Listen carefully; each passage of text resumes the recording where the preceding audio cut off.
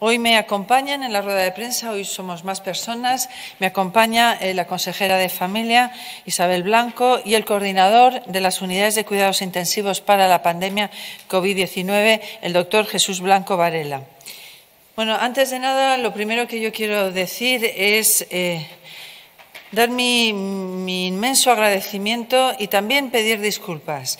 Eh, lo primero que quiero hacer es eh, mi inmenso agradecimiento y mis disculpas a las UCIs, a todos los profesionales sanitarios y no sanitarios que trabajan en esta comunidad autónoma en las unidades de cuidados intensivos y, todo ese, profesional también añadido. ¿Y por qué disculpas? Porque eh, yo cuando suelo hablar de las camas comento que, bueno, que estamos contenidos, que, que quedan camas libres, pero evidentemente a veces no queda muy claro que estoy hablando de UBIs, expandidas, es decir, estoy hablando de profesionales que ahora mismo están trabajando en las diferentes UBIs, eh, teniendo en cuenta que teníamos 166 eh, camas inicialmente en las UBIs, ahora están dando respuesta a más de un 250% de sus esfuerzos.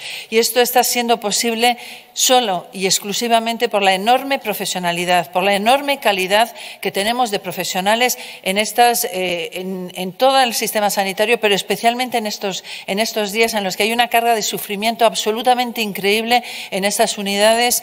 Eh, evidentemente, yo desde aquí quiero darles las gracias. Sé que están más allá de sus fuerzas, sé que está habiendo muchísima presión psicológica y física, sé que dedican todas las horas del mundo eh, y que están haciendo todo lo posible en una unidad que siempre ha sido especialmente compleja por los profesionales que tratan y por las tomas de decisiones que tienen que hacer. Con lo cual, eh, yo ahora eh, quiero, evidentemente, desde aquí, hoy hacer un rendido homenaje a todos esos profesionales que trabajan en esas unidades de cuidados intensivos, a todos los profesionales, pero especialmente hoy a todos los profesionales que están en las UCIs, en las UCIs extendidas, todos los médicos, todas las enfermeras, todos los auxiliares, personal de limpieza, todas aquellas personas que están haciendo posible que esto funcione y que somos absolutamente conscientes que no están dedicando el 100%, están exactamente en el 250%, porque esa es la capacidad que hemos aumentado y eso con los mismos profesionales es el trabajo que se está haciendo. Y además decir que estamos en una situación haciendo eh, medicina de vanguardia, de altísima vanguardia, en un contexto de guerra que es eh, como el que estamos viviendo en el momento actual. Por lo tanto, yo quería eh, hoy, antes de, empezar, hacer un rendido homenaje, dar muchísimo apoyo a todas esas personas que hoy están demostrando lo que son, grandísimos profesionales.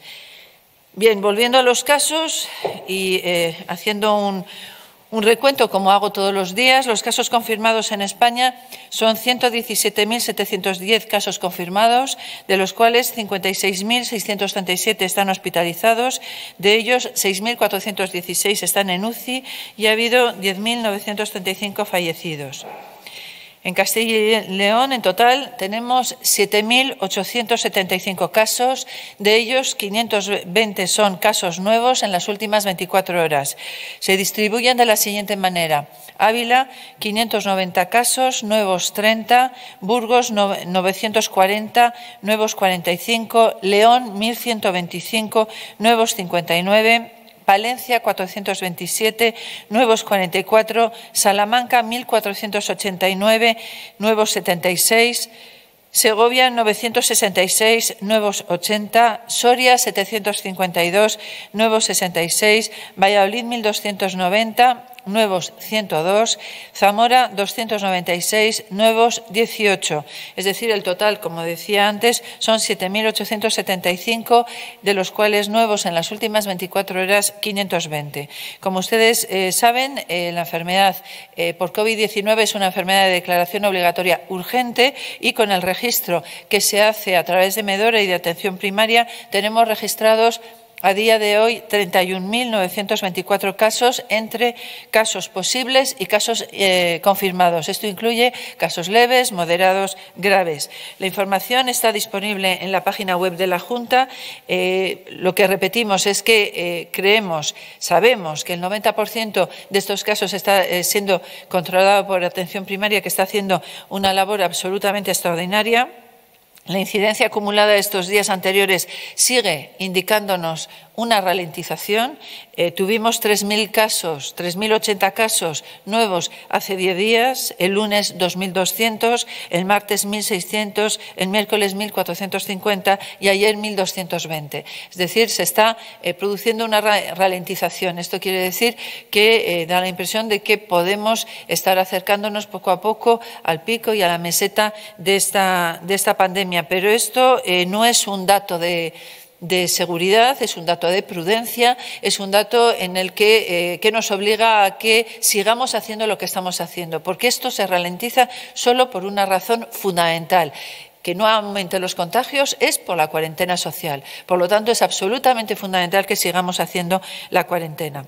En relación a los casos hospitalizados, tenemos 2.664 eh, hospitalizados en este momento, que supone el 8,3% del total de casos registrados en Medora. De ellos, 2.316 son pacientes que están en planta. Se mantiene la situación estable. Entre nuestros diagnosticados en los hospitales y las altas tenemos en este momento un balance negativo de eh, menos 64 pacientes, es decir, estamos dando más altas que ingresos y esto es una buena noticia, pero como digo antes, es una noticia que siempre las tenemos que considerar con mucha prudencia.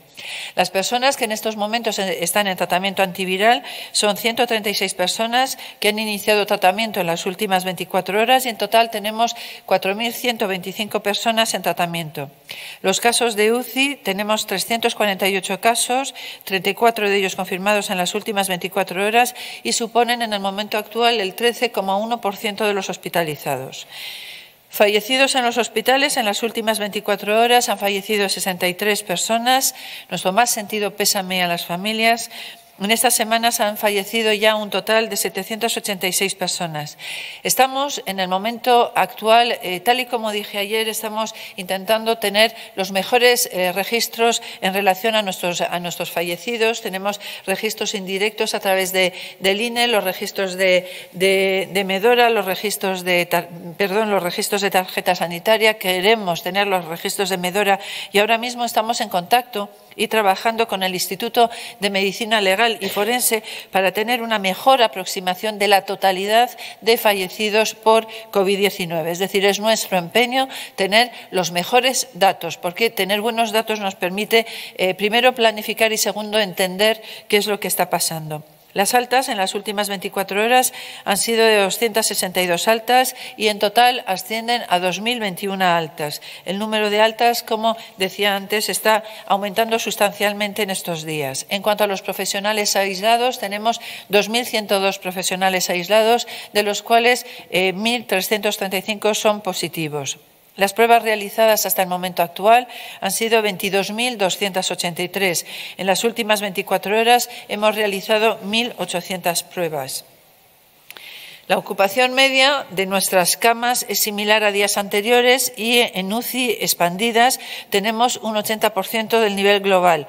Repito que las UCIs expandidas es sobre eh, el total de camas que hemos ido ampliando y recuerdo que lo estamos ampliando con personal básicamente el mismo que teníamos antes, quitando las personas que puedan estar en aislamiento o positivas y con la ayuda de otras, eh, de otras especialidades, como puede ser anestesia, otros especialistas en estos temas que están apoyando a estas UCIs que, eh, como decía antes, tienen, tenemos una un, total de camas UCI en normalmente de, de, 166 camas, que su porcentaje de ocupación en, tiempos normales, no ahora, pues no era, no no era el 60 o desde luego no, llegaba a tasas importantes y ahora pues tenemos 389 camas, es decir, estamos expandidos. Eh, esto supone, como he dicho al principio, que nuestro profesional está haciendo muchísimo esfuerzo y aunque pueden contar con refuerzos, desde luego están eh, trabajando con niveles de eh, complejidad muy altos y, vuelvo otra vez a decir lo que he dicho antes, que es agradecer enormemente la tarea que están haciendo. La situación en Soria, eh, pese a ser compleja, se sigue hospitalizando, se sigue estabilizando. Esta mañana algunos profesionales de Soria nos decían hay sol, ha aparecido el día con sol. Esto quiere decir que eh, hay pequeñas luces de, esperanza de que estamos estabilizando un poco el tema. La ocupación global es del 78,14%. En estos momentos tenemos cuatro puestos libres en UCI. Se están trabajando en traslados, se está trabajando en aliviar la tensión asistencial que tiene, que tiene Soria. En Segovia también presenta un cierto alivio en relación a la situación de ayer. Se está eh, intubando ya algún, algún paciente de la SUCI, y pero se han producido seis traslados de planta al Hospital Clínico de Valladolid. Seguimos entendiendo que tenemos que trabajar en red, que ahora mismo las áreas no existen, que somos una gran área trabajando todos juntos, los unos con los otros y los unos por los otros. Es decir, esta máxima para nosotros es absolutamente clave. Ayer Burgos puso la carpa de triaje a funcionar con una buena sensación y, con, eh, y sin incidencias remarcables. El primer día tuvieron 26 pacientes, de los cuales en la propia carpa se pudieron dar 16 altas y ocho de ellas tras hacerlas la radiografía eh, de rayos. Eh, la placa de, toras. En el hospital de la feria hemos empezado ya a coger eh, diferentes pacientes de diferentes hospitales. De momento es un número reducido, pero esperamos poder trabajar para descargar la presión asistencial de los hospitales que lo precisen y lo necesiten. Tenemos tres ingresados ayer, ahora a primera hora, había tres ingresados, dos del Hospital Clínico y uno de Segovia. Eh, esperamos recibir hospitales en varios pacientes del Hospital Río Ortega, tres más del Clínico y se están eh, también eh, pensando otros traslados de otros centros fuera de, fuera de Valladolid. Quiero decir que eh, desde ayer hemos empezado a utilizar una app, una aplicación móvil denominada IRIA Medical, que va a servir de herramienta de comunicación con los profesionales para trasladarles contenidos informativos y formativos, es decir, van a tener a disposición todo lo último en relación a los protocolos, tanto asistenciales de coordinación, así como alertas y noticias que nos permitan estar informados sobre todas las últimas actualizaciones del COVID-19. Se puede descargar en los sistemas Android y Apple. Llevan más de mil descargas desde su puesta en marcha ayer. Eh, el feedback que tenemos de los profesionales es muy bueno. Yo creo que es una herramienta que está siendo muy bien vivida por, eh, por parte de nuestros sanitarios como herramienta de apoyo. Seguimos potenciando el teletrabajo de los profesionales aislados. Ya tenemos a más de 600 profesionales conectados en remoto y pasando consulta telefónica desde su casa y con acceso al sistema de Medora. Muchísimas gracias por hacer este esfuerzo. Tenemos buenas noticias en relación a la llegada de equipos de protección y material sanitario. Hoy aterrizan tres aviones que contienen cantidades importantes de equipos de protección. En total, un millón de mascarillas quirúrgicas, 450.000 mascarillas FFP2, 64.000 batas impermeables, 960.000 guantes, 90.000 gafas protectoras y 1.000 pantallas faciales. Queremos dar gracias al Ejército por la cesión de dos ambulancias medicalizadas para el transporte de pacientes que vamos a poner en uso en, las próximas horas. Estamos distribuyendo cinco mesas de anestesia y también hemos adquirido, que hemos adquirido y que van a ir a Soria, a Segovia, Salamanca, Río Ortega y Burgos para ampliar su capacidad para acoger a los pacientes críticos. Llevamos más de, de 5,6 millones de equipos de protección enviados a centros sanitarios y, sociosanitarios y aquellas eh, personal esencial para que puedan tener sistemas de protección tenemos muy claro que eh, quien mejor organiza es quien más sabe.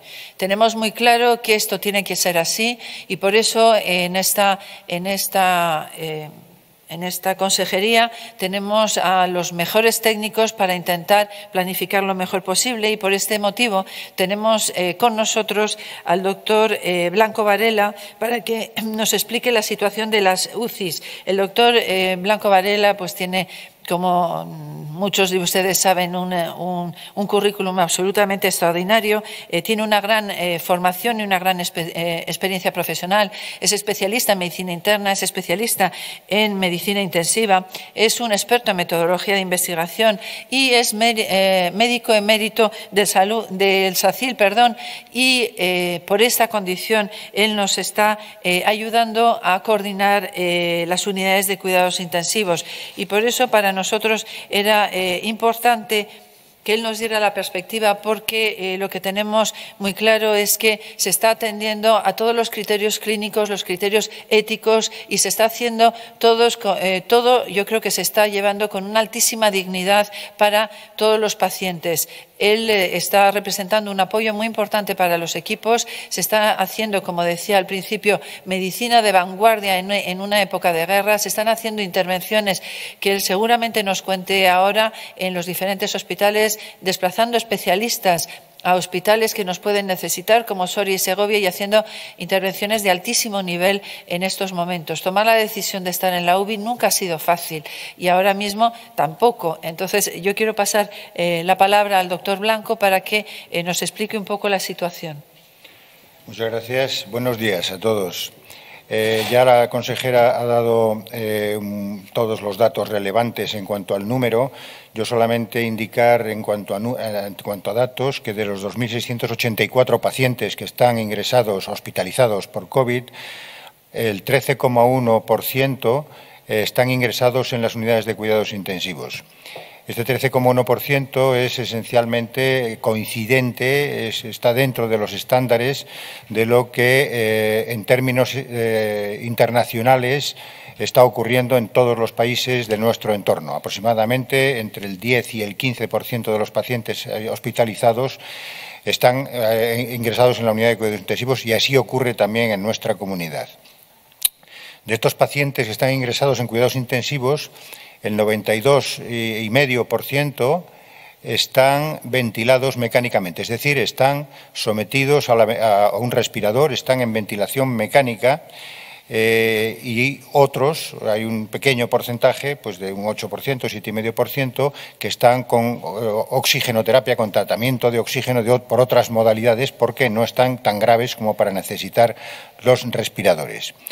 En las últimas 24 horas ha habido un, incremento de menor de los ingresos en cuidados intensivos, es un 7% menos de lo que ocurrió el día anterior, pero aunque este dato hay que tomarlo con precaución porque solamente una tendencia realmente puede indicar que la, demanda de, cuidados intensivos disminuye realmente. ¿no? Eh, no lo sabemos, pero hay dos días seguidos en el, que, en el que el incremento es menor que el día anterior de pacientes que han ingresado en los últimos eh, dos días. Eh, en este momento, eh, a las 8 de la mañana, teníamos 69 camas libres, pero con una capacidad de incremento hasta las 533 de los 350 sobre los, es decir, tenemos 354 ingresados, podríamos llegar a 533, es decir, tenemos un amplio margen todavía y habría libres ahora eh, a las 8 de la mañana 69 eh, camas y todos los hospitales tenían camas libres en cuidados intensivos.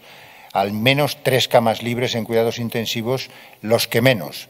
Muchos de ellos tienen más camas libres. Y desde luego eh, estaban preparando incrementar las camas para la demanda que va a ocurrir en los próximos dos o tres días, en, los en el próximo fin de semana. En cuanto a cuestiones organizativas, como ha dicho muy bien la consejera, eh, las, UCIs están trabajando a un 250% de su, de su ocupación habitual y esto se ha conseguido merced a la, eh, a la constitución de UCIs extendidas, es decir, al utilizar otros recursos hospitalarios que pueden constituirse en UCIs para eventos de este estilo, para eventos que no ocurren normalmente, ¿no? Y para ello pues se han utilizado las reanimaciones posanestésicas, las, eh, las, mm, salas de despertar posquirúrgicas e incluso pues en el río Ortega como por ejemplo se ha cerrado hoy la unidad de quemados a los quemados, los cuales serán trasladados unidades de quemados que tienen, que tienen camas libres, en Madrid concretamente, ¿no? para utilizarlas, para utilizar esta unidad de quemados como una unidad también de expansión potencial para atender enfermos COVID. En todas las eh, hospitales se, se están utilizando estos recursos, incluidos los quirófanos.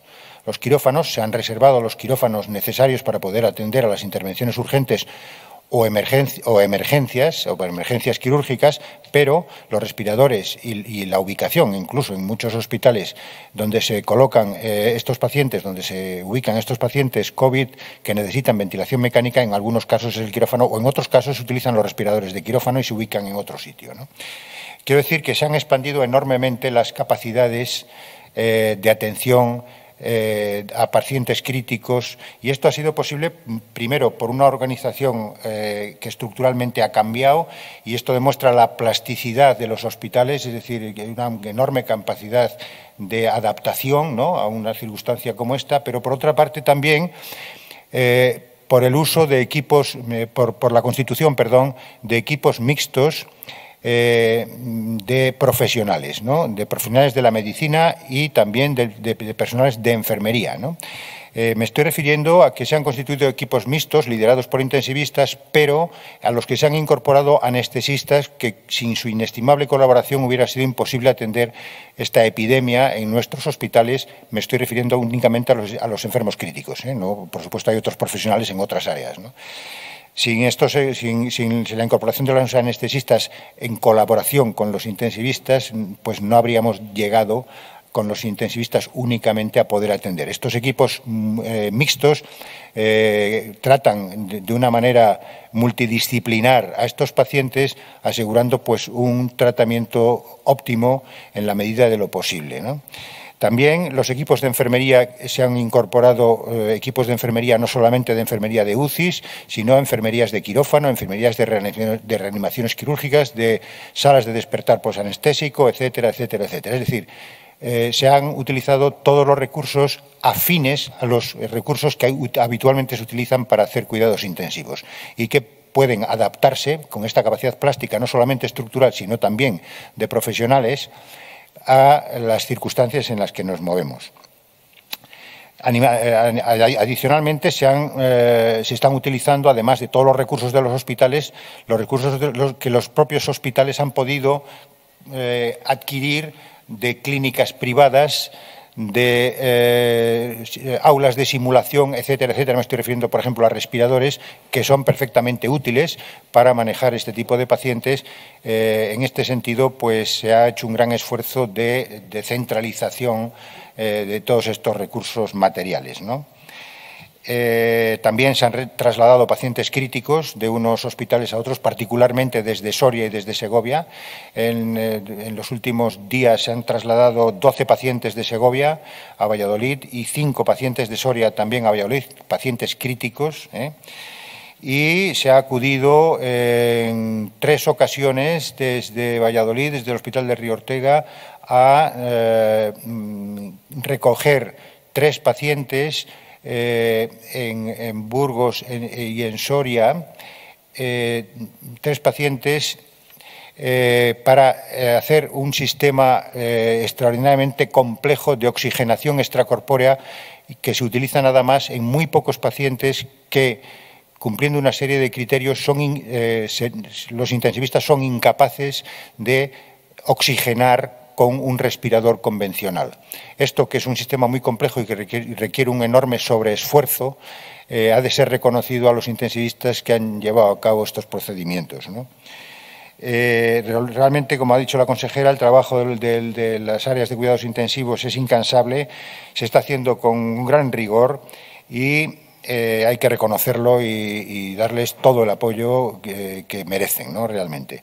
Todo esto, además, se ha hecho eh, respetando en todo momento los principios que gobiernan la bioética, es decir, eh, se ha hablado mucho de cómo seleccionar estos pacientes, ¿no? Bueno, pues estos pacientes eh, se seleccionan para entrar en cuidados intensivos de la misma manera que se, seleccionan todos los demás pacientes, ¿no? Todos los demás pacientes que entran en cuidados intensivos. Siempre con, respecto, con respeto a los principios básicos de la bioética, el principio de autonomía, el principio de beneficencia, el principio de no maleficencia, el principio de justicia, son los cuatro normas de las cuales nunca uno se puede salir en estos, en este tipo de unidades a la hora de administrar recursos que desde luego no, sobran no nos sobran por los cuatro costados, sino que son, tienen un límite determinado, ¿no?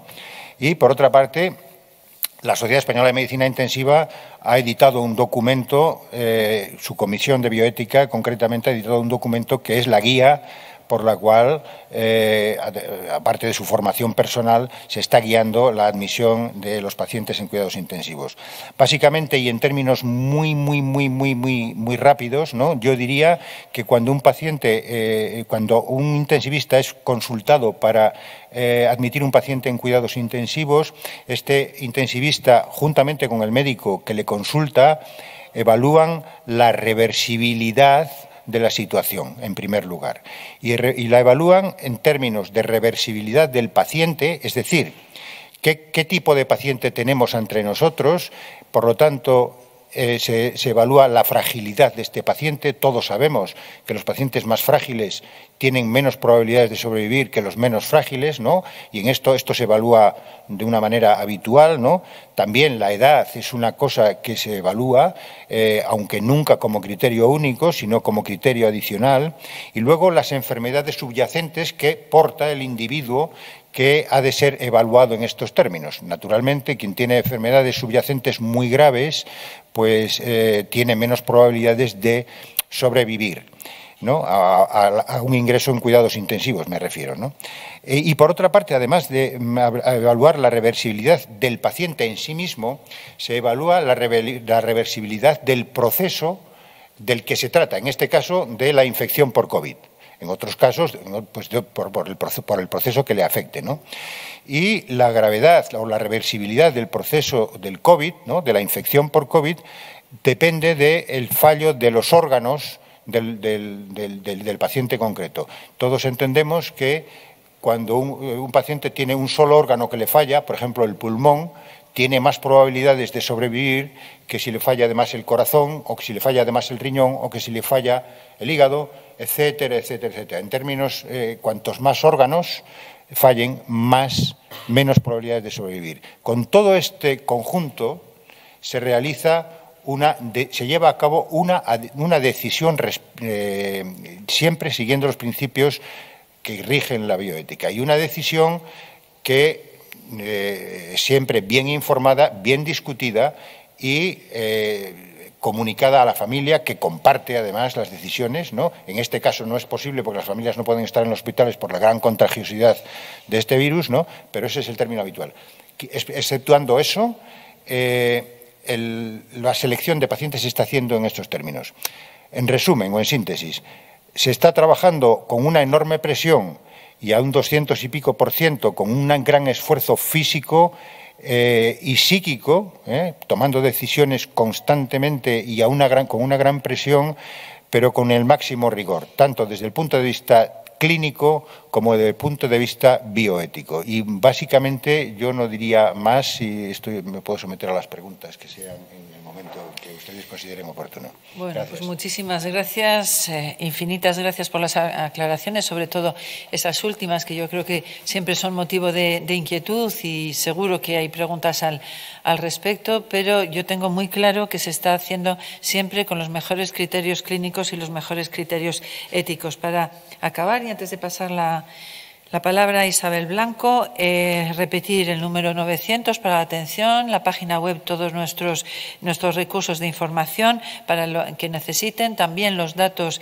eh, de estadísticas en el portal de la Junta de Castilla y León, que yo creo que están en general siendo muy bien vividos porque estamos volcando toda la información que tenemos allí. Eh, decir que tenemos también el autotest en la página web, Seguimos eh, con el correo de voluntarios, voluntarioscovid19 arroba saludcastilleón.es. Es importante reseñar eh, los datos, pero también es importante que contestemos a las llamadas cuando estamos inscritos en ese, en ese registro de voluntarios. En el momento actual llevamos más de 3.700 inscritos y repito que sobre todo lo que necesitamos son enfermeras y auxiliares de enfermería.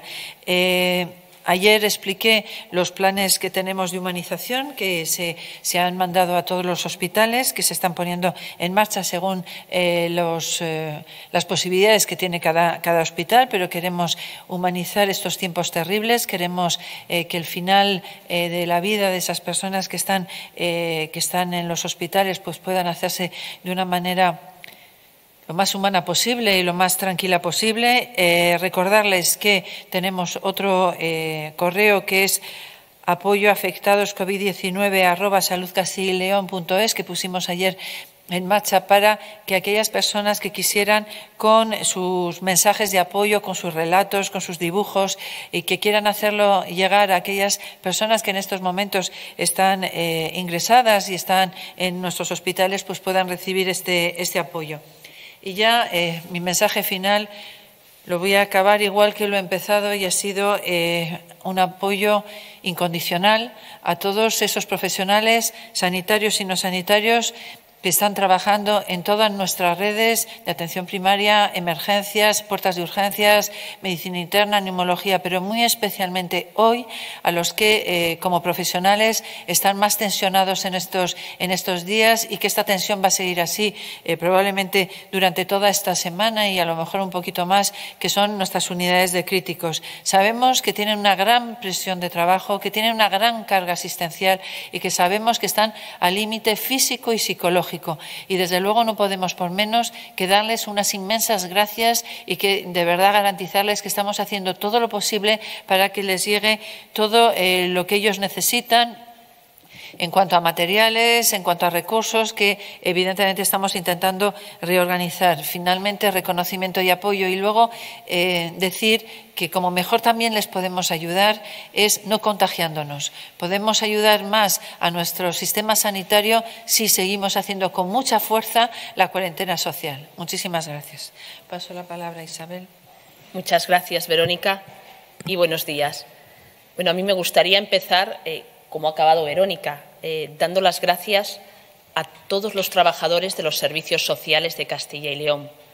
Eh, siempre hemos dicho, siempre me, habréis oído, me habrán oído decir que los servicios sociales de Castilla y León están donde están y, son lo que son porque son de todos. Y, en esta situación tan dramática, en esta pandemia que, que nos está asolando, es donde se demuestra que esto es así, yo quiero agradecerle a los trabajadores que están en los centros, a los trabajadores de las entidades locales, los que prestan la ayuda a domicilio, los CEAS que siguen trabajando, a las entidades del tercer sector que se están encargando de, atender sus propios centros, a sus propias personas con discapacidad, de atender esa ayuda a domicilio, ese suministro de alimentos a las familias que peor lo están pasando ahora, bien porque porque viven solas, porque son personas mayores que, viven solas, o bien porque son familias especialmente vulnerables, que están atendiendo a, todas esas personas sin techo. A todos ellos, muchas gracias. Y, me vais a permitir que, que personalice también estas gracias en los gerentes de servicios sociales de las provincias. Ellos lo están dando todo, y cuando digo todo me refiero a que muchos de ellos, incluso personalmente, por las tardes, por las noches, están trasladando el material que nos llega a las residencias. Eh, desde aquí quiero agradecer eh, todo ese trabajo, todo ese esfuerzo personalizado en ellos y, que hacen, que representan a todos los trabajadores de, los servicios sociales de Castilla y León. Eh, desde los servicios sociales se están adoptando muchas medidas, eh, se continúa a un ritmo más lento con la actividad ordinaria, se siguen pagando las pensiones no contributivas, se siguen pagando la renta garantizada, se siguen pagando las ayudas de, dependencia. Nos enfrentamos a muchas situaciones diarias que son difíciles y que hay que ir dándoles respuesta. Se sigue actuando, se sigue vigilando, viendo la situación de las víctimas de violencia de género, de las casas de acogida. Por ahora hay plazas en, todas ellas, no tenemos problemas si una mujer necesita recurrir ante esta situación especial a los servicios sociales por causa de la violencia de género, no dude, que no dude en llamar por teléfono porque seguimos estando ahí. Y nos preocupa especialmente una situación que está surgiendo, que es qué pasa con algunos menores eh, que sus padres son hospitalizados porque tienen el coronavirus. Entonces, en esta situación hemos elaborado un protocolo. En primer lugar, con estos menores se busca que se puedan quedar con la familia directa, con la familia más próxima. Y si no es así, tenemos que darles una solución, tenemos que darles una respuesta. Eh, la solución que, que estamos poniendo en marcha es habilitar un centro en cada provincia, en colaboración con educación, que nos deja las residencias estudiantiles, alguna residencia pública estudiantil, salvo en Valladolid, que el espacio nos lo cede la Consejería de Cultura a las, a las dos. Se lo, se lo agradezco muchísimo, de verdad, y nos pone a disposición un apartamento, en este caso en Valladolid, con 12 plazas en la residencia deportista Riesgueva. El personal eh, para atender a estos menores eh, es de la Gerencia de Servicios Sociales y Sanidad también se implica, forma parte de, este protocolo, eh, formando, indicando a los profesionales cómo tienen que actuar con estos menores ante la situación sanitaria que se les pueda presentar a los mismos. Y luego, asimismo, el personal sanitario, los pediatras y, y las enfermeras del centro de salud correspondiente atenderán en las residencias, se encargarán de estos menores.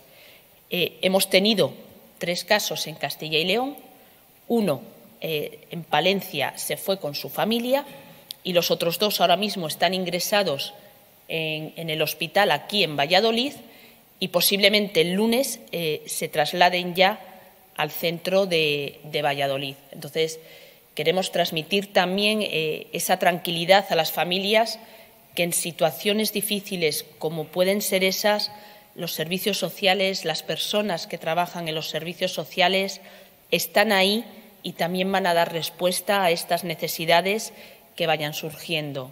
Eso no, no tengan ni, ninguna duda. Respecto al tema que más preocupa, y lo hemos dicho más veces, porque son las personas más vulnerables, que son las personas que, que viven en residencias, hacer varias, varias observaciones. En primer lugar, hemos intervenido esta, semana dos residencias de mayores en Cabo Ayes, en, en, León, y en Ciudad Rodrigo, la residencia Caracillo en Ciudad Rodrigo, en Salamanca. Eh, hay que poner de manifiesto que la intervención de una residencia es en una situación excepcional y ante colapso del mismo. La intervención de una residencia según establece la orden que publicó el Ministerio, conlleva el nombrar un director para el centro que gestionará los recursos humanos y los recursos materiales del centro. Los gestionará. Es responsabilidad del propietario de las residencias mantener las condiciones contractuales con sus trabajadores, así como todos los suministros eh, y el mantenimiento del propio centro. La intervención es desde el punto de vista organizativo para garantizar eh, la salud de, los ancianos, de las personas mayores que están allí, para garantizar que se encuentran en las mejores condiciones. Eh, hay que decir que la solución cuando se interviene una residencia que se adopta en cada caso es diferente en función de las condiciones en que se encuentra el centro o en función de las características del mismo. En el caso de Adrada de Aza, que se intervino hace, hace una semana, eh, la decisión que se adoptó ante la carencia de personal, ante la imposibilidad de contratar personal, fue trasladar a, a los ancianos que había, un total de 32, dos al hospital y el resto a, perdón, he dicho 32, no, no sé si son 34, me, me disculpáis, es, de memoria, pero bueno, el resto, perdón, se trasladaron a, residencias públicas, a residencias titularidad de la Gerencia de Servicios Sociales. En el caso de Cabo Ayes, eh, se ha contratado el director del centro, ha hablado con, em, con la empresa, una empresa, para que proporcione el personal que se pueda hacer cargo de los ancianos que están allí son 12 en total. Y en el caso de Caracillo, eh, debido también a problemas, sobre todo para conseguir personal, la decisión que se adoptó fue trasladar a 30 de los ancianos que se encontraban en la residencia a otra residencia de Salamanca que se ofreció, a la residencia Montevideo, que tenía un ala en la que era posible, estaba vacía porque habían finalizado las obras, y era posible que estos ancianos estuvieran allí los 30 y pudieran ser atendidos. Con los ancianos que han quedado en el centro, en Caracillo, 44, el personal que hay puede hacerse cargo de ellos. La intervención no es definitiva, me refiero, no es mm, para siempre. La intervención de una residencia es hasta que la residencia esté controlada y pueda volver a gestionarse por ella misma. En ese momento nos tendrán que ir diciendo eh, desde el Ministerio cómo se va dando marcha atrás o cómo se va deshaciendo esa intervención. Es decir, cuando la Junta está interviniendo la residencia, no la interviene ya para siempre, es temporal y ni siquiera tiene por qué durar eh, todo el periodo de alarma. En el caso, por ejemplo, de Adrada de Aza, ahora mismo no hay residentes. Lo que está es el, director del centro. Eso quería, quería explicarlo. Eh, respecto a los datos que facilitamos desde la Consejería de, Familia, eh, tenemos que decir que desde el primer momento mm, hemos tratado de contar la realidad de las residencias. El lunes que comparecimos decíamos que teníamos una nueva aplicación, que la habíamos puesto en marcha, que estaban cargados aproximadamente el 95% de los, de los centros, más de 1.214 centros en la comunidad, que ellos mismos iban cargando los datos y que los datos que aquí facilitamos son una foto puntual del día de hoy, en este caso, a las 10 de la mañana, que es cuando nos lo facilitan. Son datos cambiantes, son datos que, evolucionan. Eh, ¿Qué reflejan los datos que nosotros facilitamos? Eh, son personas que viven en las residencias, personas que en el momento que nos cargan los datos viven en las residencias. Damos los datos de casos confirmados, de casos aislados con síntomas o de personas en aislamiento preventivo. Estos datos son variables porque los casos aislados con síntomas en algún momento pueden pasar a ser sin síntomas y los casos sin síntomas en algún momento pasan a no estar aislado. Por eso os digo que, que nos tratamos de ajustar a la máxima, a la realidad que tienen las residencias. En el caso de las personas fallecidas, nosotros queríamos dar eh, todos los datos de personas fallecidas en las residencias, es lo que estamos dando, que guarden de alguna manera relación con el coronavirus. Damos dos datos. Personas que fallecen con síntomas compatibles con el coronavirus, esto no quiere decir que lo tengan, quieren decir que en el momento del fallecimiento han presentado o uno o todos los síntomas del coronavirus y estas personas fallecen eh, prácticamente todas en las residencias. La columna de personas fallecidas con síntomas compatibles con el coronavirus es en las residencias. El otro dato que se da son personas que viven en las residencias que han fallecido con coronavirus. Este es el dato que habría que comparar con los datos que da la consejera de Sanidad de fallecidos en los hospitales.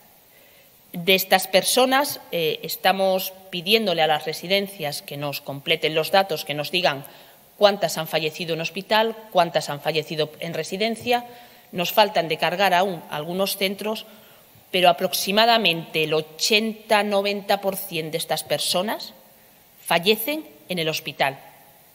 Luego, los datos que habría que comparar sería la columna de fallecidos, de personas fallecidas con el COVID-19 confirmado y los fallecidos en el hospital que proporciona la Consejería de, Sanidad. Esas son las dos columnas que pueden ser comparables. Y, digo esto porque cuando manejamos números hay que tener cuidado, porque detrás de cada número hay una persona y hay una familia. Entonces hay que ser muy cuidadosos, hay que ser muy rigurosos con los datos que, se dan, porque todos esos datos al final se le están transmitiendo a las familias. ¿Cuál es la mortalidad respecto a las cifras que se están dando de personas fallecidas que vivían en residencias? Estamos hablando que de la cifra que se da de fallecidos entre el 35 40% más o menos son personas fallecidas en residencias, no más. Es más, cuando vayamos viendo la evolución de las mismas, puede ser incluso menos. Los datos que nosotros facilitamos son desde el 14 de marzo. Estos datos son desde que se decretó el estado de alarma y empezamos a contabilizarlos, es decir, las personas fallecidas son las que han, fallecido la segunda quincena de este, de este, mes de marzo, desde el 14 de, marzo. Eh, respecto a los datos de hoy, eh, paso a leérselos. Eh, en Ávila han fallecido 25 residentes con coronavirus confirmado, 30 con síntomas compatibles, hay 44 casos confirmados, 222 aislados con síntomas y 407 personas aisladas en aislamiento preventivo. Burgos, 39 fallecidos con coronavirus confirmado, 41 fallecidos con síntomas compatibles, 55 personas con coronavirus confirmado, aislados con síntomas compatibles 389 y en aislamiento preventivo 519. Burgos, 46 fallecidos con coronavirus confirmado, 58, perdón, 88 eh, con síntomas compatibles, 97 confirmados con coronavirus 327 aislados con síntomas compatibles y 432 en aislamiento preventivo. He dicho el último, el último, me perdonáis que me bailan las, las filas, el último dato que he dado es León. Palencia, 10 fallecidos con coronavirus confirmado, 19 fallecidos con síntomas compatibles, 22 confirmados, 150 eh, aislados con síntomas compatibles y 591 en aislamiento preventivo.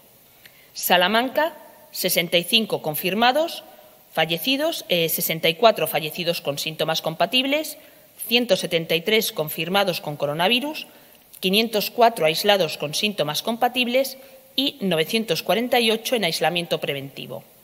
Segovia, 67 fallecidos con, COVID confirmado, 94 fallecidos con síntomas compatibles, 181 confirmados con coronavirus, eh, sí, con coronavirus confirmado, 426 aislados con síntomas compatibles y 560 en aislamiento preventivo sin síntomas. Eh, Soria, 31 fallecidos con coronavirus confirmado, 36 fallecidos con síntomas compatibles 126 confirmados con coronavirus, 241 aislados con síntomas compatibles, 700 en aislamiento preventivo sin síntomas. En Valladolid, 46 fallecidos con coronavirus confirmado, 76 fallecidos con síntomas compatibles, 153 confirmados con coronavirus, 174 aislados con síntomas compatibles, 517 en aislamiento preventivo. Zamora, tres confirmados con coronavirus, 13 fallecidos con síntomas compatibles, 8 confirmados, 140 aislados con síntomas compatibles y en aislamiento preventivo 115.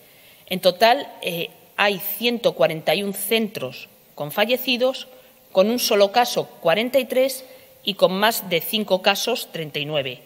El número total de fallecidos confirmados son 332. Esta cifra es la que habría que comparar hasta que podamos depurar si es el 80, el 85, el 90 o el 100 con los 786 que ha indicado hoy la consejera. Fallecidos con síntomas compatibles en las residencias, 461 personas. Estos son los datos de, hoy. Los datos no son buenos, eh, siguen aumentando el número de fallecidos, pero también es cierto que respecto al primer día que tomamos los datos, el número que incrementa cada día es menor.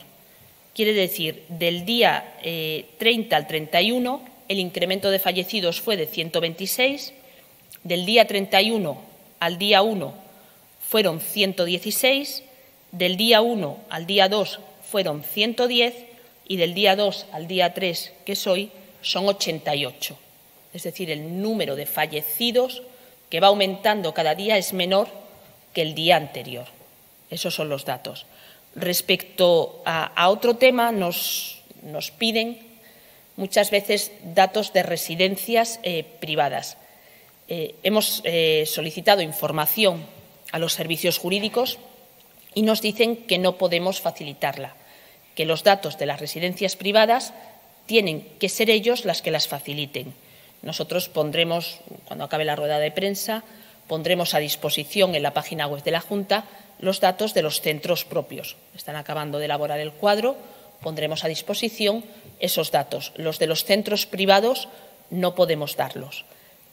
Eh, aparte del informe jurídico, hemos elevado consulta al Ministerio en este sentido y, en principio, nos contestó lo mismo. Aún así, nos dijo que iba a dar traslado a la abogacía del Estado para que se pronunciara. Cuando tengamos esa información, eh, se la haremos llegar. Pero si no damos datos de las residencias privadas, es porque por la ley de protección de datos no vamos a poder darlos. Los centros públicos, les repito, que estarán a disposición en la página web de la Junta a lo largo de, la tarde la evolución de los mismos. Entonces, yo creo que estas eran las cosas más, más importantes que, les teníamos que trasladar o que, les tenía que trasladar y quedamos a su disposición para las preguntas. Gracias. Vamos a dar comienzo entonces con las preguntas a la consejera de Familia. Paula de la Fuente, de la Voz de Medina y Comarca. Tras las declaraciones de ayer sobre la transparencia de datos en lo referido a residencias, ¿se sabe cuál es la situación de las residencias de ancianos de Medina del Campo? ¿Existe algún caso confirmado de residentes o profesionales de las mismas? Eh, le repito lo mismo, son residencias privadas, no podemos darlos. Había una pregunta también de Gorka Ruiz de la agencia EFE que se refería a, ese proceso de recogida de datos y a cuántos usuarios de residencias han fallecido en los hospitales y cuántos han muerto en los propios centros. Si quiere matizar esto un poco más. Eh, yo creo que ha quedado contestada, pero, pero sí lo aclaramos. Por supuesto, lo más importante es que se entienda y, y dar los datos bien. Los 461 fallecidos con síntomas compatibles, esos han muerto en las residencias los 332 confirmados, prácticamente la, mayoría, tenemos contrastados datos hasta el 80%, pero la mayoría, por no decir prácticamente todos, han muerto en hospitales. Ana Belén Santos, de Televisión Española. ¿Cómo está la situación en los centros de acogida de menores? la situación está bien. En los centros de acogida de menores la situación está bien, está controlada y están trabajando con normalidad. Carlos Gil, de la opinión de Zamora. Los trabajadores de la residencia Marcelina del Valle de Fuentesauco están pidiendo la intervención de la Junta. ¿Por qué no se tomaron medidas realizando test ante el primer caso de la directora y los posteriores dos ancianos fallecidos por coronavirus? Hay más residencias en Zamora en situación delicada. ¿Cuántos afectados y aislados tienen en tres árboles los valles de Benavente y Virgen del Yermo?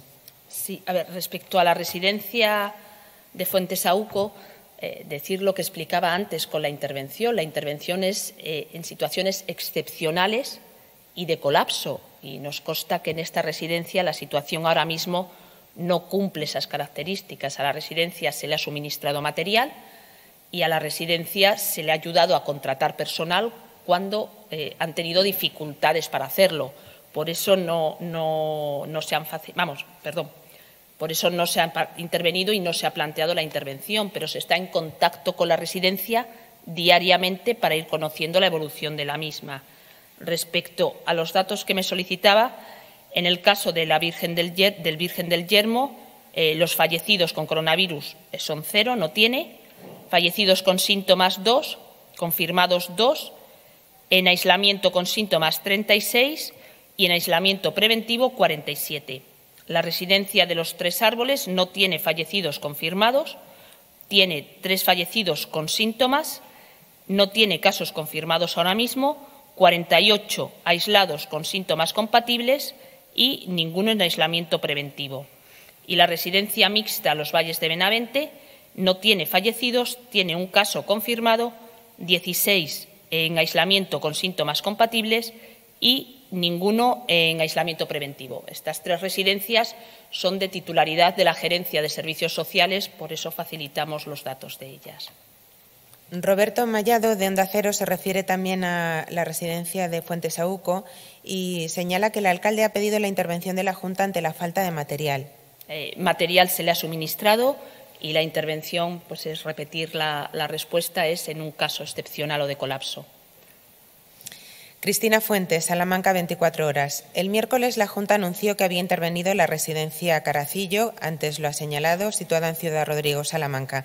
¿Cuáles han sido los motivos para esta intervención? ¿Existe en esta provincia alguna residencia que por su estado actual sea susceptible de ser intervenida por la Junta? Eh, los motivos de la intervención fueron, sobre todo, no encontraban personal para mm, cuidar a los ancianos que, que allí estaban ante la situación eh, que tenían, se optó por, por, sobre todo para poder efectuar con todas las garantías el traslado de los 30 ancianos de un centro a, otro. Las residencias de Salamanca están permanentemente vigiladas y estamos a su disposición cuando nos solicitan que, les echemos una mano con temas de personal, con temas de material y los equipos de sanidad, las residencias que pueden estar en una situación eh, más difícil, nos consta que, que, las visitan y que también están pendientes de ellas. Álvaro Hernández, Cadena Ser. La Junta confirmó hace una semana que se estudiaría caso a caso la posibilidad de que residentes sanos pudiesen abandonar el centro para volver a sus casas. ¿Cuántos usuarios de estos centros han salido de ellos en esta última semana para regresar a sus domicilios o con sus familias? En este, en este sentido, se está preparando una resolución por parte de, de la Consejería de Sanidad colaboración con los servicios sociales para marcar las pautas en que los residentes pueden salir cuando las familias eh, quieran llevárselos y cuando el residente quiera irse. También es un aspecto muy importante a tener en cuenta. Siempre que el residente esté asintomático, bajo la responsabilidad de las familias, si esté confirmado por sanidad que, puede salir, que no tiene síntomas y que no está contagiado en ese momento. No le puedo decir si ha habido algún residente que se lo han llevado las familias o, no, ese dato no lo tenemos. Sergio García de Soria Noticias pregunta por qué el número de personas en residencias cambia cada día. Al menos en el caso de Soria va en descenso. 2.371, 2.366, etcétera. ¿Es por los fallecidos? ¿Por familias que están sacando a sus familiares de las residencias? ¿Se plantea la Junta intervenir las residencias de Duruelo y Almazán dada su dramática situación? A ver, empezando por el final, eh, la situación de Duruelo y Almazán no es dramática. No son residencias que estén colapsadas y asimismo nos ha llegado algún mail reconociéndolo por alguna de ellas. Le, garantizo que no es una situación dramática ni, ni, mucho menos están colapsadas.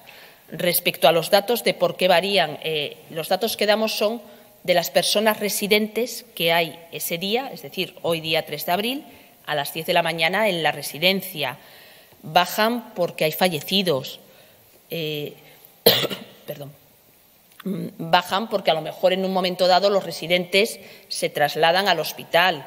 Hay casos también que en el hospital se le da el alta y esas personas eh, pueden volver a las residencias. Es normal que esos datos fluctúen, igual que es normal, como explicaba antes, que los datos de aislados eh, con síntomas o sin síntomas fluctúen, porque es eh, la foto puntual de hoy, 3 de abril, a las 10 de la mañana en, las residencias.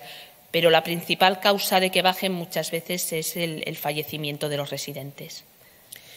Carolina Tabanera, Cadena Cope. ¿Qué criterios deben darse para intervenir en la Casa de la Beneficencia de Valladolid?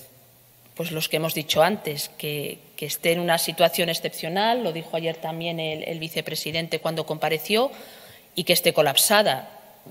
Tanto la, la, beneficencia como otras residencias están controladas permanentemente por, por los profesionales médicos, se les realizan visitas diarias, han contratado personal, según han manifestado ahora mismo todo el propio director del centro, entonces, tendría que ser una, una situación de colapso que no lo es en la actualidad. Pilar Infiesta, Diario de León.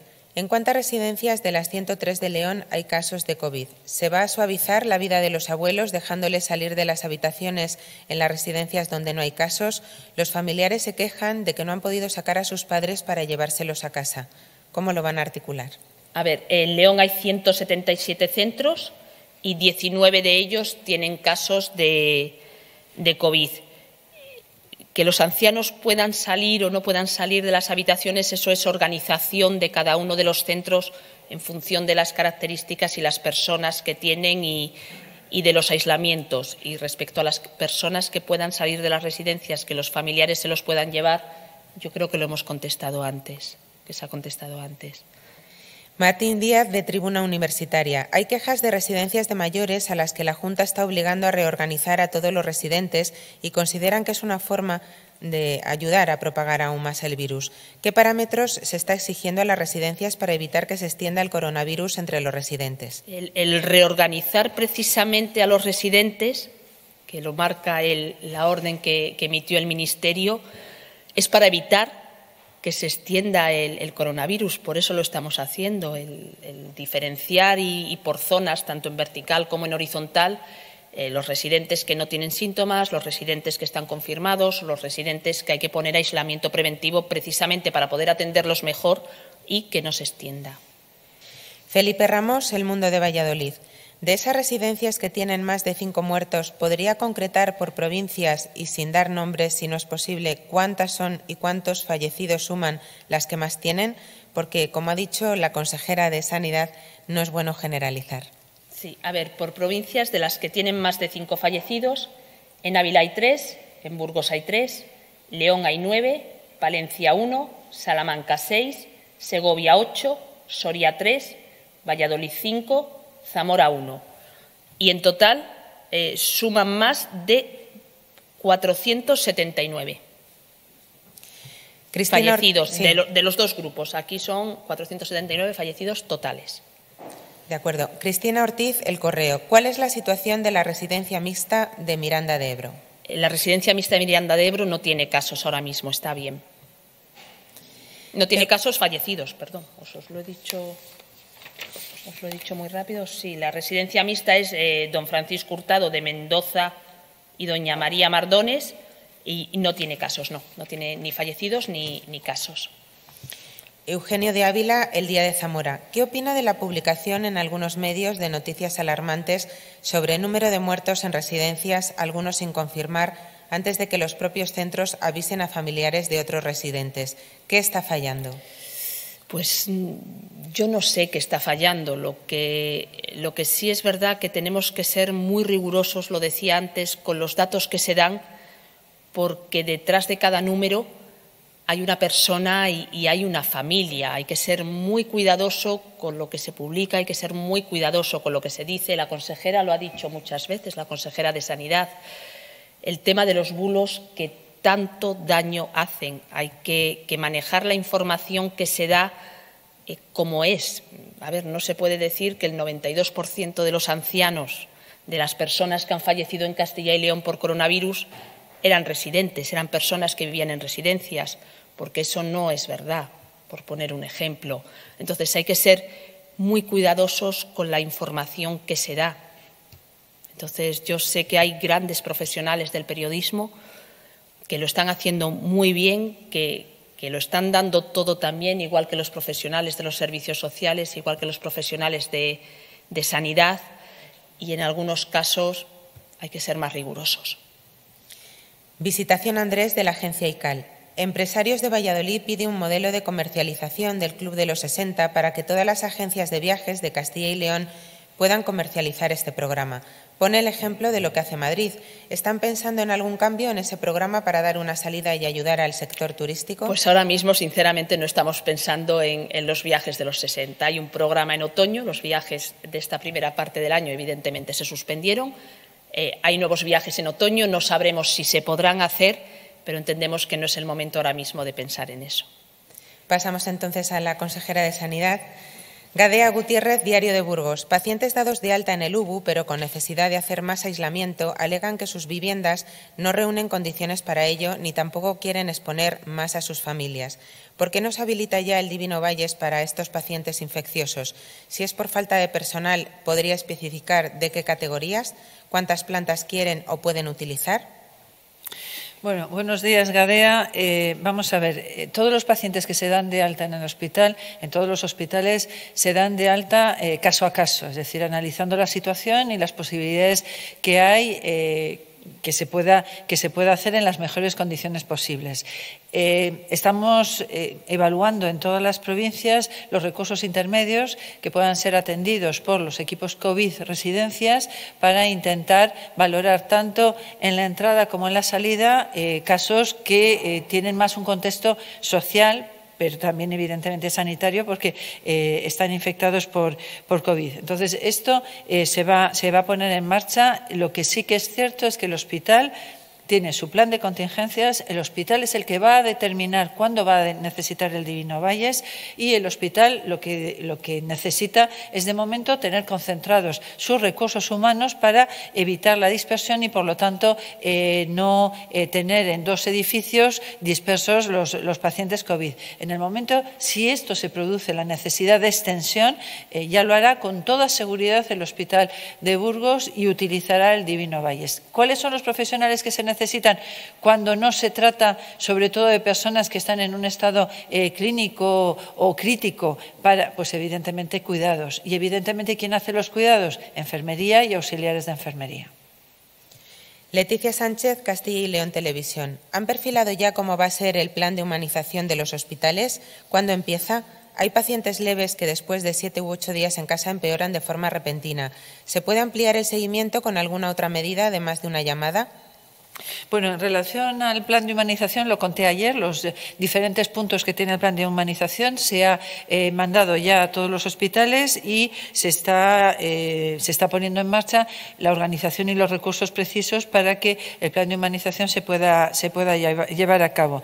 En cuanto a la segunda pregunta, que era eh, los pacientes leves que se reagudizan, vamos a ver, cuando un paciente eh, leve se reagudiza, un paciente leve es atendido todos los días por su médico de familia telefónicamente. Hay un protocolo que determina cuándo hay que hacer el seguimiento presencial y cómo hay que hacer el seguimiento presencial. Si esto, si esto se, va, se, se pone de manifiesto, pues evidentemente se detecta. Pero yo creo que lo, lo más importante ha sido la puesta en marcha de los COVID-AP y la puesta en marcha de las consultas telefónicas por parte de los médicos de familia y de los equipos de atención primaria. Cuando ellos detectan una serie de criterios clínicos y ven que eso eh, que está empeorando a esa persona, lo que se hace es una derivación urgente al hospital, porque eh, hay una clara constancia con simplemente las preguntas de que esto no va bien, o se determina la visita presencial para eh, valorar si van a necesitar ir al hospital o pueden continuar estando en su domicilio.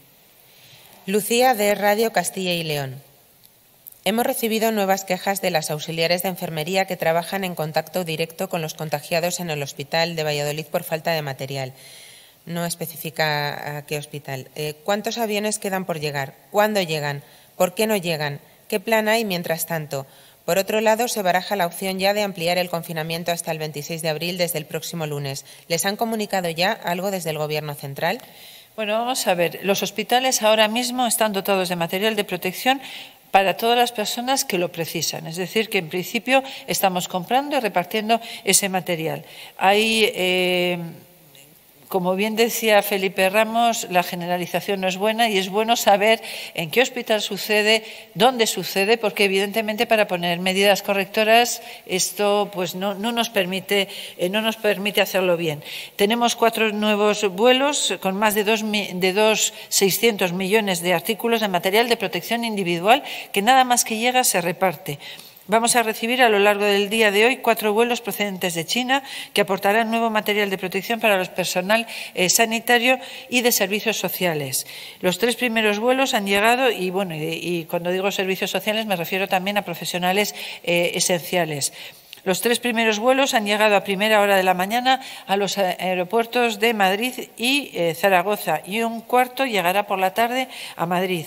En total, en el día de hoy se recibirán un millón y medio, un millón quinientos trece mil setecientos ocho mascarillas, 64.260 batas impermeables, 965.000 guantes, 120.000 gafas protectoras, 4.000 buzos y 1.000 pantallas faciales. Todo el material que recibimos se distribuye inmediatamente a las nueve provincias en función de las necesidades registradas, del estocaje que, tienen y también con lo mismo, eh, con las indicaciones que nos hace eh, la Consejería de Familia eh, a los centros sociosanitarios donde tienen necesidades.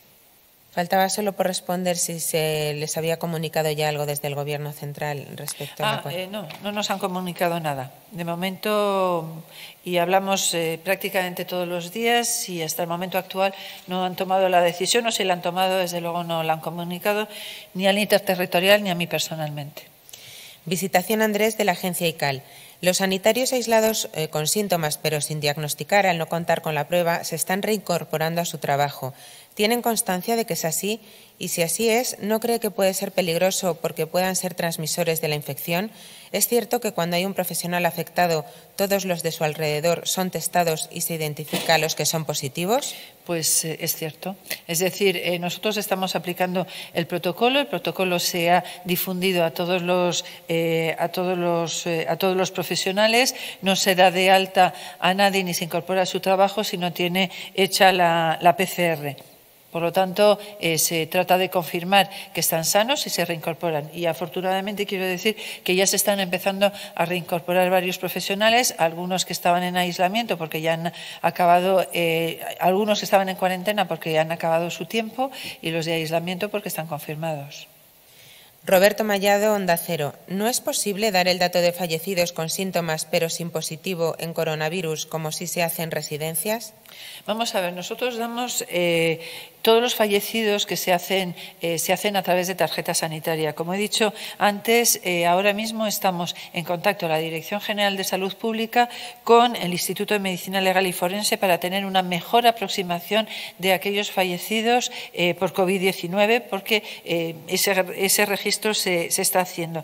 El proceso no es tan fácil para contabilizarlo día a día, porque cuando se trata de una baja, es una baja por el registro de tarjeta sanitario y ese, ese dato no se vuelca a diario, sino se vuelca a mes, a mes vencido. El contabilizar en hospitales, pues también en, hospitales es mucho más fácil porque evidentemente pues se, pueden, se, se hace con las altas a domicilio a las personas que se van a su casa o las altas por defunción. Estamos constantemente trabajando para mejorar nuestros datos, pero evidentemente eh, tenemos que buscar el equilibrio entre el trabajo que hacemos para intentar salvar el mayor número de vidas y para proteger lo mejor posible a todo el mundo con el esfuerzo absolutamente necesario por mantener activos nuestros sistemas de información. María Coco de segoviaudaz.es. En las residencias de ancianos y dependientes de Segovia, hasta ayer habían fallecido 150 personas. En hospitales solo se da el dato de positivos. Ayer acumulaban 88 sin contar los probables, que no se facilita. Tampoco computan los domicilios que dependen de justicia. ¿Qué cifra es la que suma a las estadísticas regional y nacional de fallecimientos globales, a los 10.003 de ayer en España? Si solo es la de los positivos fallecidos en hospitales, ¿a qué se debe el criterio? ¿Es petición del Gobierno central o de la comunidad? Bueno, nosotros respondemos a lo que nos pide el Ministerio y los datos que nos pide el Ministerio son los que nosotros le trasladamos. Pero eso no es óbice para que tengamos más registros y los registros que he comentado estos días pues son tres, eh, tres registros el que, se está habilitando de Medora, el que se está habilitando, el que tenemos de tarjeta sanitaria, eh, el que nos viene de manera general por exceso de, fallecimientos y el que estamos ahora mismo como cuarto trabajando eh, con. Eh, trabajando, como he dicho antes, con el Instituto de Medicina Legal y Forense. Por lo tanto, podremos tener datos más ajustados, pero efectivamente lo que nosotros mandamos al Gobierno es lo que el Gobierno nos pide. Elena Llorente, el Día de Soria. ¿Van a tomar alguna medida especial para reforzar los centros de salud de Pinares y Almazán en la provincia de Soria?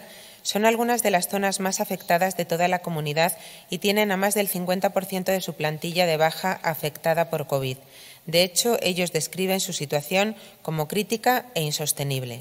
Bueno, vamos a ver. En Pinares de Covaleda se prevé la incorporación de dos profesionales al inicio de la semana eh, y en este momento han vuelto a hacer guardias los tres médicos que no estaban eh, realizándolos por extensión de guardias. Y estamos apoyando desde, desde el primer día con residentes, eh, con profesionales en, en, formación. El Centro de Salud de Covaleda tenemos controlado el tema de las residencias de ancianos también con un correcto seguimiento por parte de dos médicos de familia. En Almazán ya se ha incorporado una médico y la semana que viene probablemente otra médico más se incorporará. Además, están pasando consulta a una profesional del Centro de Salud de Gomara todos los días en el centro de Almazán y están yendo residentes tanto para ayudar en el control de la residencia de tercera edad como para ayudar y colaborar en las guardias. Por lo tanto, somos conscientes de lo que está pasando y estamos intentando reforzar y la semana que viene habrá, será más efectivo ese, ese refuerzo. Otra pregunta muy parecida, pero sobre otra provincia. Eduardo Cantalapiedra, de Diario de Ávila. ¿Se ha pensado en reforzar la plantilla de los centros de salud de la provincia de Ávila, especialmente en la zona sur, dado que es la provincia de la comunidad con mayor número de solicitudes de tarjetas de desplazados? Efectivamente, eso es así. Estas zonas ya tienen un incremento de, personal desde el inicio de la pandemia porque éramos conscientes de lo que estaba pasando. Además, destacar que desde el mes de marzo en el Centro de Especialidades se puso una unidad de radiología en el Centro de Arenas de San Pedro en horario de mañana y tarde todos los días, evidentemente para poder atender un poco mejor y de manera más extendida a la población del Valle del Tietar. Aurelio Martín, El Día de Segovia. Teniendo en cuenta las dramáticas cifras que padece Segovia porcentualmente sobre la población y tras el fiasco del hospital de campaña, en la sociedad hay una sensación de abandono, puesta de manifiesto también por autoridades locales. ¿Cuál sería su mensaje? Bueno, el mensaje es que de ninguna de las maneras hay abandono. Es cierto que han tenido una, una situación eh, complicada, probablemente por el exceso de, problemas vinculados con el COVID y con las limitaciones propias de, un hospital como el, el de Segovia, pero desde luego estamos, tanto desde la Junta como desde todas las administraciones, haciendo todos los esfuerzos posibles. Y desde luego no hay abandono eh, en Segovia. Estamos pendientes todas las mañanas a las 8 de la mañana hacemos un circuito con gerentes, todas las mañanas somos conscientes de la situación que tiene cada uno de los, de los hospitales. Estamos trabajando en red. En el momento actual hay tres camas libres. Estamos desplazando a pacientes al, Clínico Universitario de Valladolid. Tenemos al Hospital Feria, que está muy pendiente de Segovia. Es decir, no está para nada abandonado. Es, es compleja la situación, pero desde luego no es cierto el abandono, el apoyo y desde luego eh, eh, cuentan con toda nuestra colaboración. Como he repetido muchas veces, somos solo un área. Hay zonas dentro del área que tienen más complicaciones y Segovia, evidentemente, es una de ellas. María Jesús Pascual, del norte de Castilla, vuelve a las cifras de fallecidos y pregunta si incluye sanidad en la cifra total a todos los muertos en residencias. ¿Dónde contabilizan los fallecidos con sospecha de COVID-19? ¿Pueden aclarar cómo hacen el conteo? Las cifras que ofrece no cuadran. Bueno, vuelvo a decirles lo mismo. Es normal que a veces no cuadre de manera absoluta porque las fuentes de datos son distintas y no todas las fuentes de datos contabilizan lo, mismo. Nosotros contabilizamos en los fallecidos a los fallecidos en hospital con positivo COVID-19 y estamos, eh, pues como les he dicho ya varias veces, intentando triangular todas las fuentes de información para que haya una sola única y que sea un reflejo más real de la de la, de la situación. Sergio García, de Soria Noticias. En Soria se está hablando de cinco traslados ayer a otras provincias. ¿Nos puede confirmar ese dato? ¿Todos por COVID? ¿A dónde fueron dichos traslados? ¿Se produjo algún fallecimiento durante estos traslados? Desde el día 16 de marzo se han realizado siete traslados desde Soria a otros hospitales de la comunidad. Cinco eh, han sido a Valladolid y dos a Burgos. No me consta que hubiera un fallecimiento durante los traslados. No, ha habido cinco unidades de, cuidado, de unidad de cuidados intensivos a unidad de cuidados intensivos y no ha habido ningún fallecimiento durante el traslado. Félix Oliva, Tribuna Grupo. Contar con sanitarios para frenar la enfermedad parece la clave.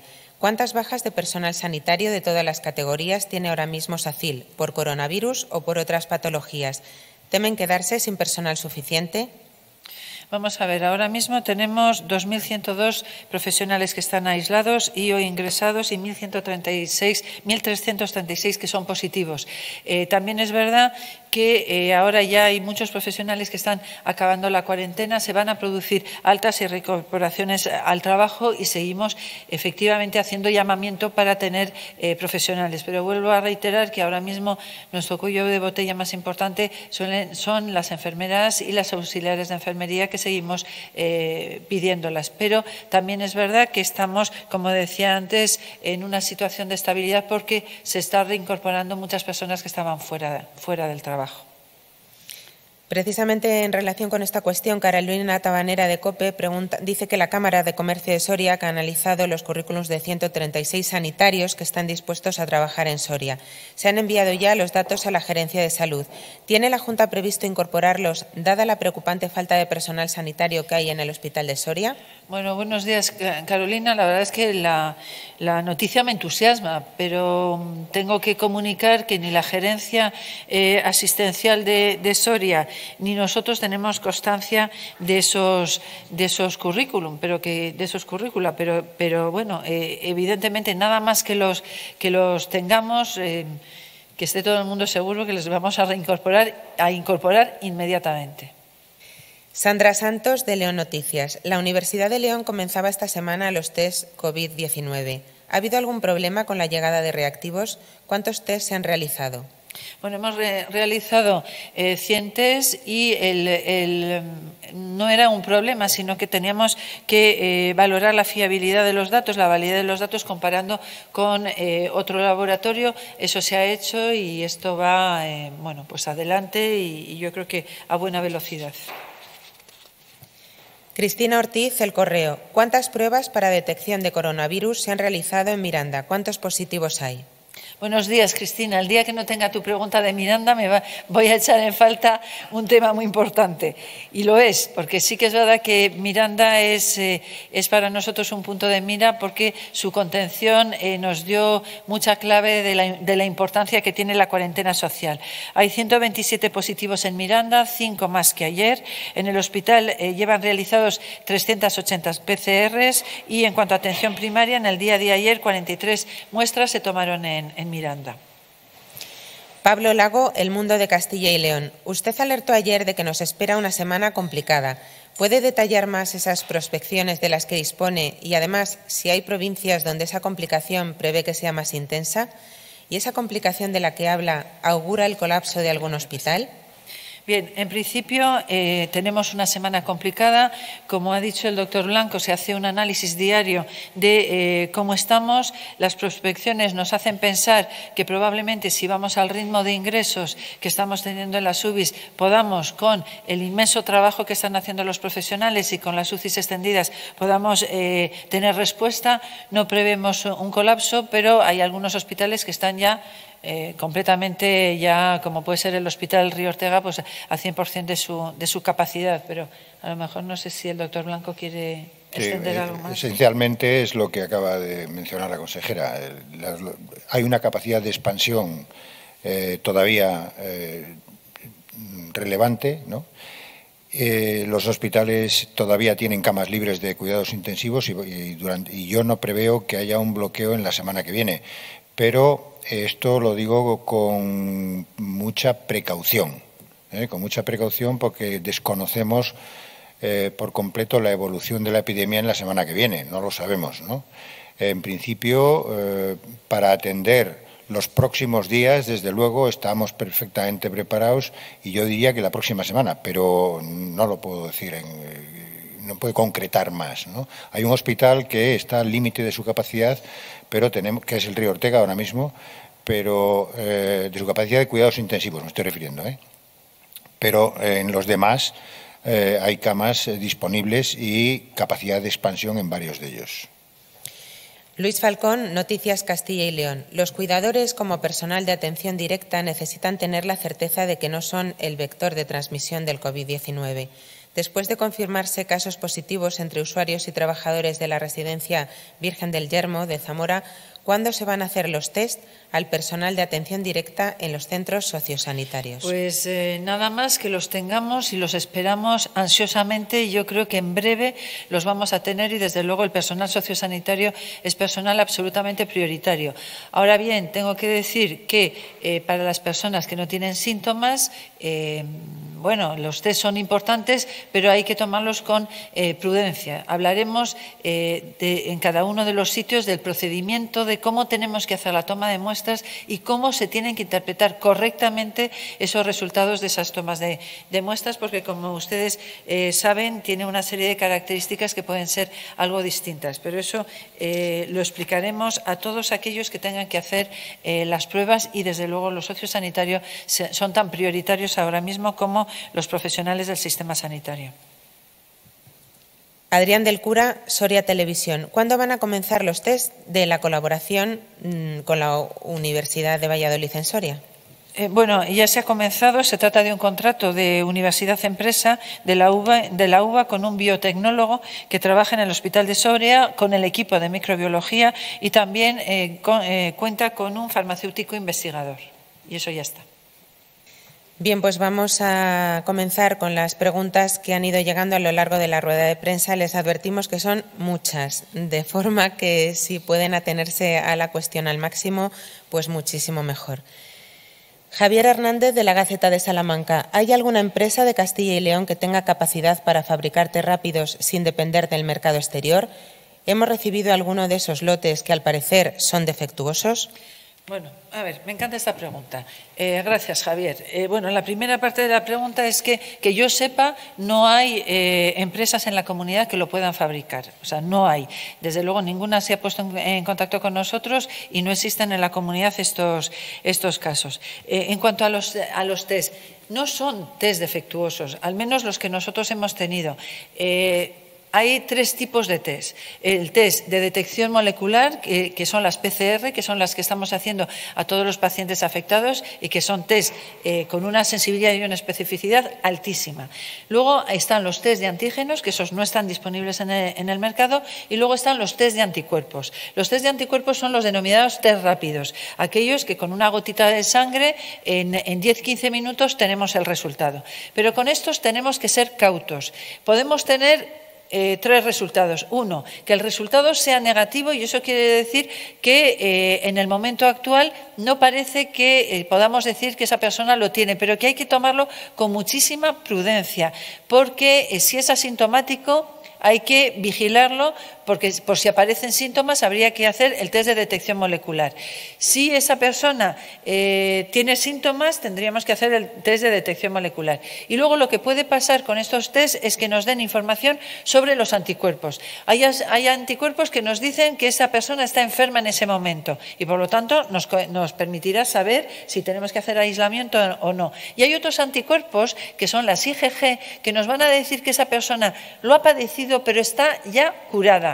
Entonces, eh, estos son los test que vamos a poner que vamos a poner en marcha. Y no es que sean eh, defectuosos, es que nuestro organismo tarda tiempo en fabricar los anticuerpos. Entonces puedo dar negativo y puedo tener una falsa sensación de, uy, yo no lo tengo y a lo mejor en dos días estoy con tos, con fiebre de 39 y lo tengo. Es decir, que eh, si me da negativo, siempre tendré que estar atento a si aparecen en los siguientes días una infección, porque puede ser que esté en esa fase en la que todavía no he creado anticuerpos y todavía no hay síntomas.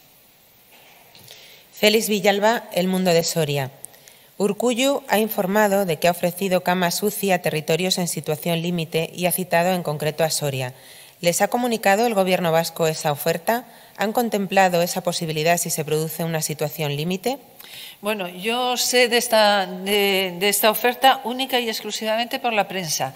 Eh, no me consta que, desde luego me consta que no, que no ha habido una comunicación con nuestro, con nuestro presidente y desde luego eh, no me consta y sé que eh, la Consejería de, Salud de País Vasco no se ha puesto en contacto con nosotros para, para decírnoslo.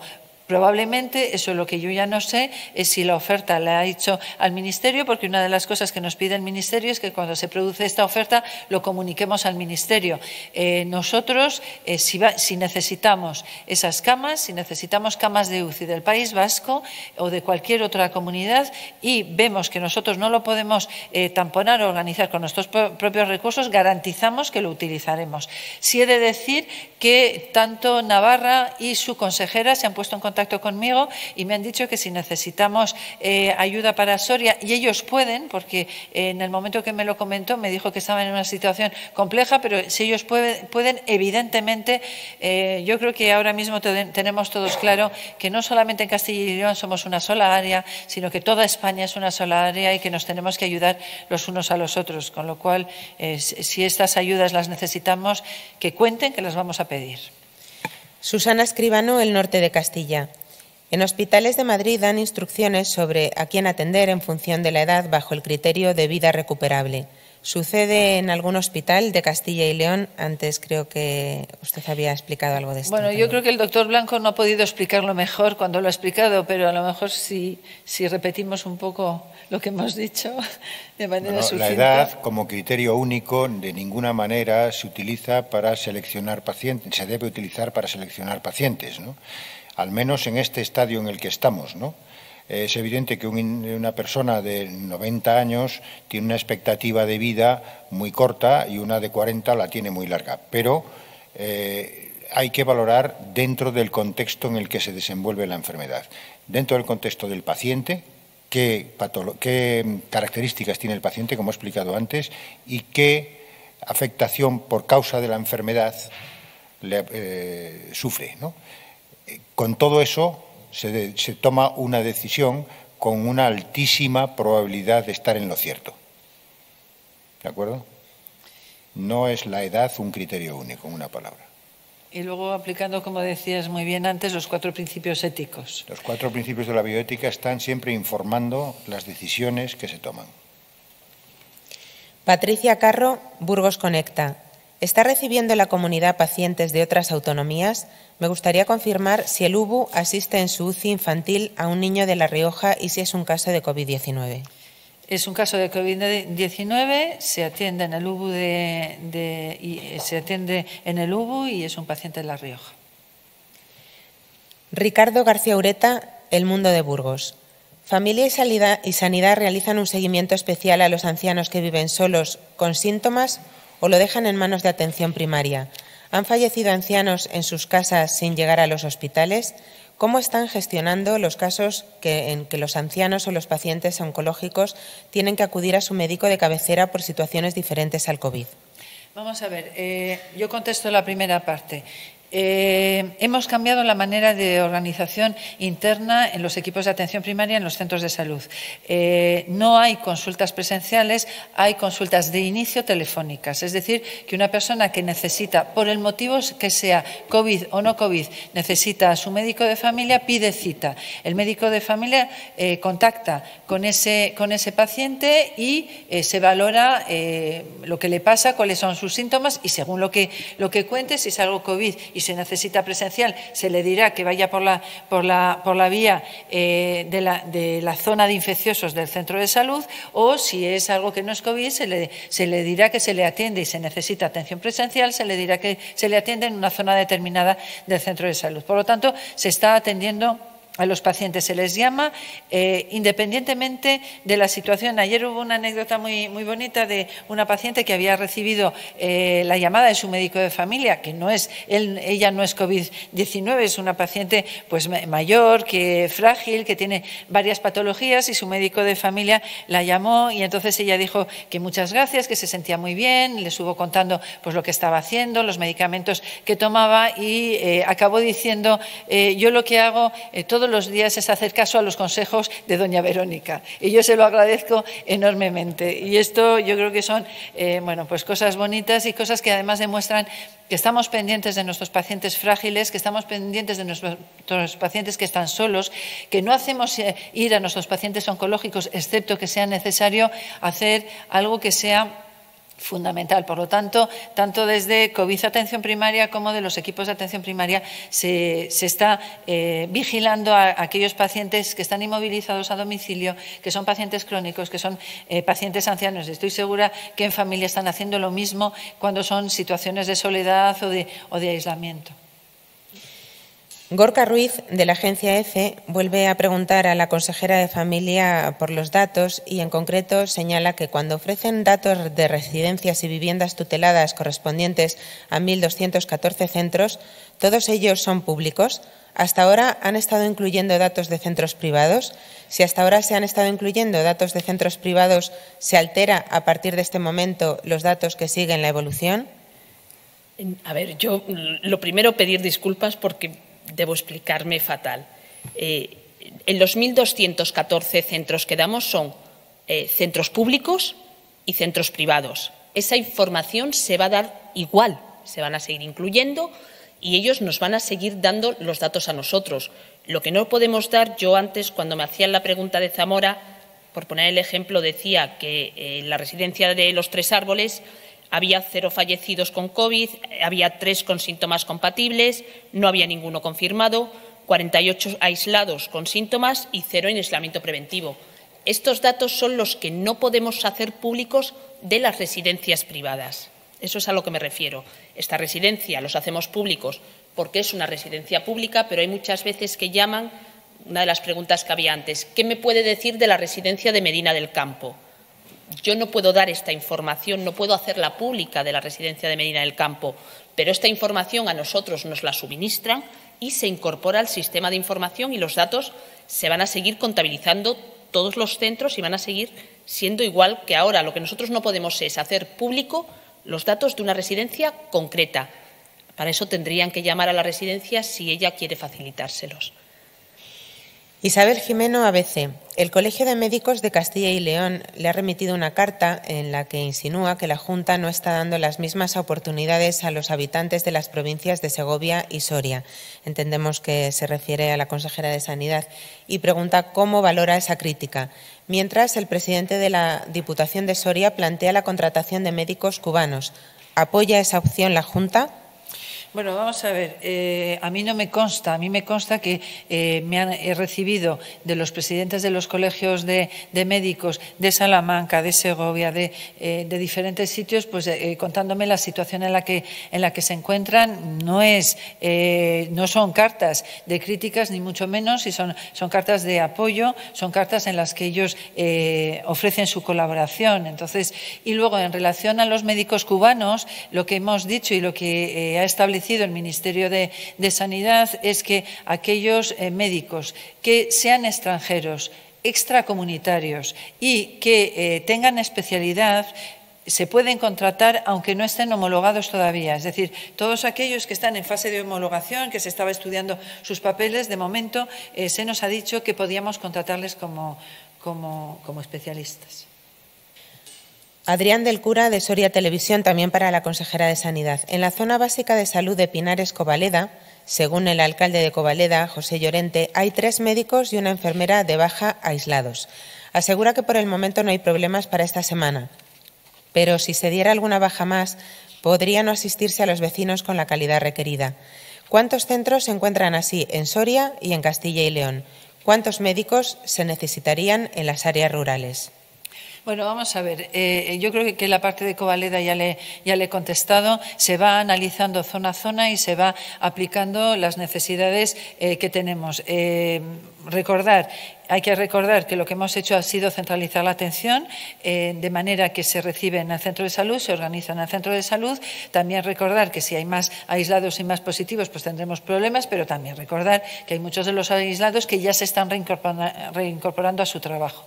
Es decir, que si seguimos eh, con la curva que tenemos ahora, pues probablemente no. Pero estamos pendientes de cada uno de ellos y, no se pueden dar estadísticas porque son muy, cambiantes. Es decir, lo que ahora pasa en Burgos o puede pasar en un pueblo en León o puede pasar, pues es, algo que las gerencias de atención primaria están analizando, igual que nosotros analizamos lo que pasa, ellos analizan lo que pasa en sus territorios y nos van diciendo.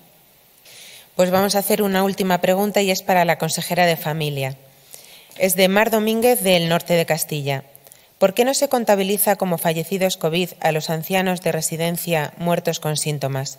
¿Por qué no forman parte de la estadística general cuando la causa de la muerte es posible COVID y no posible ictus o posible infarto? yo creo que lo he explicado ya. Los, fallecidos COVID son los que tienen el, COVID confirmado. Eh, los fallecidos con síntomas quiere decir que cuando han fallecido presentan esos síntomas, presentan uno o todos o algunos de los síntomas pueden tener coronavirus o pueden no tenerlo. Pueden fallecer por coronavirus o pueden fallecer por otro motivo. Los, fallecidos COVID son los que tienen el COVID confirmado. Y lo que nos pide el Ministerio de Sanidad son eh, los, confirmados y, y, fallecidos en hospital y es lo que mandamos. Pero eso no quita que sigamos intentando tener todos los datos posibles. De acuerdo, muchas gracias a los tres. Muchas gracias a ustedes, muchísimo ánimo y lo vamos a conseguir. Gracias.